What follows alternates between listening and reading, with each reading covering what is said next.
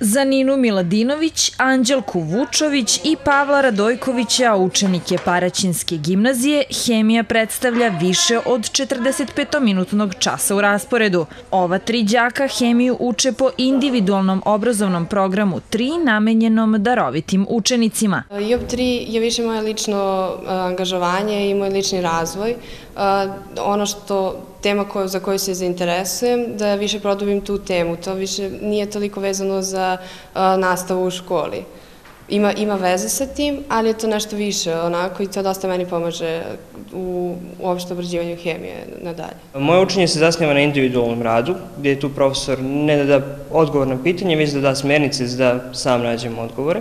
I to je izuzetno efikasan način za savlađivanje i potpuno razumevanje teme kojom se bavimo. Bavimo se usko specializovanim oblastima, tako da e, možemo detaljno i apsolutno da se upoznamo sa predmetom našeg rada. Nina, Pavla i Anđelka nekoliko puta nedeljno imaju dodatne časove hemije sa predmetnim nastavnicama.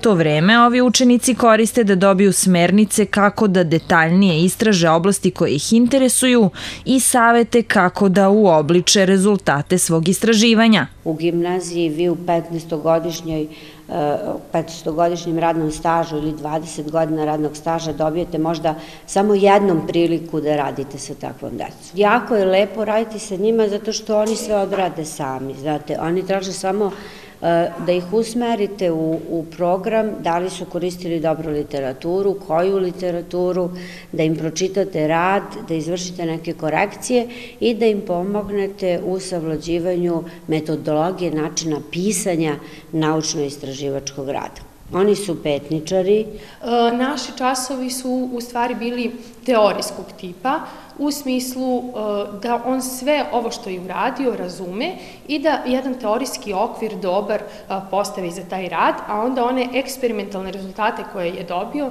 mi smo analizirali, odnosno prvenstveno je on sam trebao da dođe do zaključka na osnovu ovog teorijskog znanja, a u trenucima gde je zaškripelo, da tako kažemo, bila je tu i moja pomoć. Ovi učenici posebno interesovanje za hemiju nose još iz osnovne škole, a obrazovni plan po kome rade učinio ih je sposobnim da svoja znanja uokvire u naučne radove.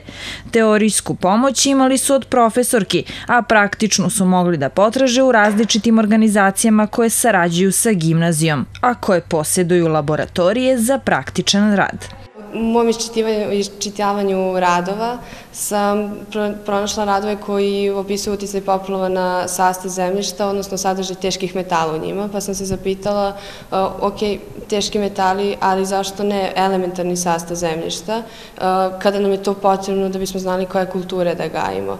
I tako je došlo uopšte do ove teme i dalje istraživanje se na tu temu i razvijalo. Uh, moj istraživački rad je ispitivanje hemijskog sastava biljne vrste Rubus hirtus, to je divlja kupina koju sam uzrokovao u okolini istraživačke stanice Petnica i eksperimentalni deo svog rada sam obavio uz pomoć saradnika iz istraživačke stanice. A, e, tema rada je utvrđivanje fenolnog sastava i antioksidativne aktivnosti ove biljne vrste. Ja istražujem vodu, hemijske i fizičke osobine vode za piće. I svoje istraživanje sam radila u Čupri, u Zavodu za higijenu i to je bilo mnogo zanimljivo.